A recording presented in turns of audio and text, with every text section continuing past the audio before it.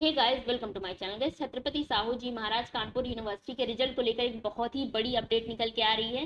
Guys Kanpur university ने जो result का अपडेट है, वो दे दिया है। बहुत सारे बच्चे रिज़ल्ट का वेट कर रहे थे तो फाइनली आपका जो वेट है, वो खत्म हो गया। इंतज़ार खत्म हो गया है। आपका जो रिज़ल्ट है यूनिवर्सिटी के द्वारा पोर्टल पे अपडेट कर दिया गया है। कैसे आपको देख रहे हैं? वन बाय वन सारी चीज़ें हम इस वीडियो में डिस्कस करेंगे। सबसे पहले हम चलते हैं ऑफिशियल लिंक पे। ये देखिए जो आपका रिज़ल्ट का है ऑफिशियल लिंक है। यहाँ अगर आप सेशन इक्कीस बाईस सेलेक्ट करना, आपको कोर्स टाइप यूजी ही है आपका।